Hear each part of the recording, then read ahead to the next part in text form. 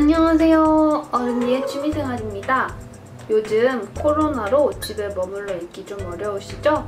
그래도 평온한 일상을 되찾기 위해선 사회적 거리두기가 꼭 필요한 것 같아요. 이런 상황을 더 행복하고 즐겁게 보내기 위해서 저희가 다섯 가지 취미생활을 추천해 드릴게요. 오늘은 따따시의 픽입니다. 자, 저의 사심을 가득 담은 첫 번째 취미생활 비즈공예입니다. 동백이 반지로 시작되어서 저희도 반지, 팔찌, 발찌와 같은 기본 악세사리부터 마스크 스트랩과 안경줄을 만들어 보았는데요.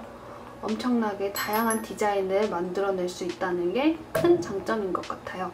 특히 만원으로 커플 팔찌를 만들기를 해보았는데요. 정말 재밌었어요. 커플이 같이 하기에도 너무너무 좋은 취미생활이었습니다. 간단한 재료로 다양하게 엄청 많은 걸 만들 수 있기 때문에 강력 추천하겠습니다. 두 번째는 키링 만들기인데요. 개인적으론 비즈 공예를 해보셨다면 더 쉽게 시작해볼 수 있는 취미생활인 것 같아요. 특히 재료를 구매하실 때도 동대문에서 한 번에 구매하실 수도 있고 많은 쇼핑몰들이 비슷한 재료를 취급하기 때문에 구하시기도 좋을 것 같아요. 그래서 펜치나 오링 정도만 있으면 다양한 소품들을 만들어낼 수 있답니다.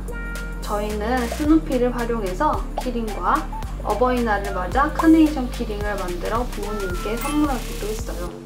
제가 좋아하는 동물의 숲 캐릭터로 키링도 만들어 보았답니다. 여러분도 한번 도전해보시기 바랍니다. 세 번째는 개인적으로 가장 좋아하는 취미생활 중 하나인 비누 만들기입니다. 비누를 녹여서 몰드에 붓기만 하면 되는 아주 간단한 취미이지만 엄청나게 많은 몰드와 색소를 이용해 아기자기한 비누를 만들어낼 수 있어요.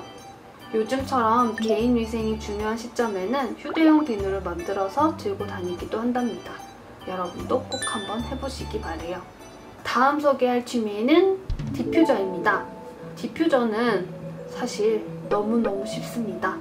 추천드리는 이유는 들어가는 비용과 시간은 생각보다 크지 않지만 고퀄리티의 완성품이 만들어진답니다.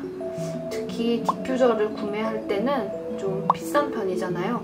근데 그 비용이면 더 많은 향기와 발향 스틱을 구매할 수가 있어서 더 다양한 디퓨저를 만들어 볼 수 있어요. 저는 여름만 되면 모기로 고생을 많이 하는데 모기 퇴치 디퓨저를 만들기도 했어요. 어버이날이나 부모님 생신을 위해서는 카네이션 디퓨저를 만들어 보시는 것도 추천드립니다. 다섯 번째는 캔들 만들기입니다. 비누 만들기와 디퓨저 만들기도 해보셨다면 이제 캔들 만들기에 도전해보시는 건 어떨까요? 역시 다양한 색소와 몰드를 활용해서 아기자기한 인테리어 소품을 만들어낼 수 있어요. 저희도 이쁜 하트 캔들이나 가을맞이 단풍 캔들을 만들어 보기도 했고요. 젤 캔들을 활용해서 투명하고 귀여운 바다 캔들이나 모히또 캔들을 만들어 보기도 했답니다. 여러분도 예쁘게 창작해 보시기 바래요. 오늘은 저의 사심을 담은 다섯 가지 취미생활을 소개해드렸습니다. 사실 다 간단하고 어렵지 않은 취미라 누구나 금손이 될 수 있는 취미생활이랍니다. 집에 머무는 시간이 많아져서 자칫하면 우울해질 수 있는 요즘 다양한 취미생활을 통해 좀 더 활기찬 생활을 시작해보시는 건 어떨까요?